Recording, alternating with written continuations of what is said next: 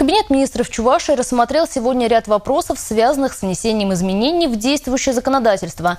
Но были и совсем новые документы.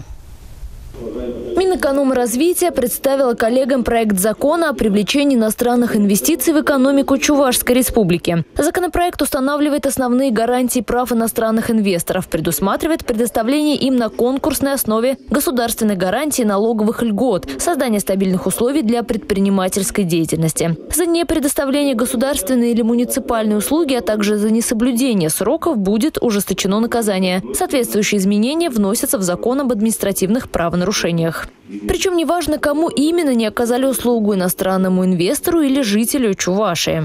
Министр здравоохранения и социального развития познакомила всех с государственным докладом о состоянии условий охраны труда в Чувашской республике в 2013 году. За последние 10 лет уровень производственного травматизма в Чувашии сократился в 1,9 раза. По-прежнему часто получают увечья строители, работники сельского хозяйства и обрабатывающих производств. Среди причин нарушения трудовой дисциплины. Половина погибших на рабочем месте были нетрезвыми. Согласно изменениям в госпрограмму развития сельского хозяйства и регулирования рынка сельскохозяйственной продукции, сырья и продовольствия включены два новых индикатора – количество высокопроизводительных рабочих мест и индекс производительности труда. Предусмотрена также грантовая поддержка сельскохозяйственных потребительских кооперативов на развитие материально-технической базы. Глава Чуваши обратил внимание, что в 2014 году средняя заработная плата работников сельского хозяйства прогнозируется ниже, чем в прошлом году, и поручил Минсельхозу скорректировать эти данные с учетом повышения производительности труда в аграрном секторе.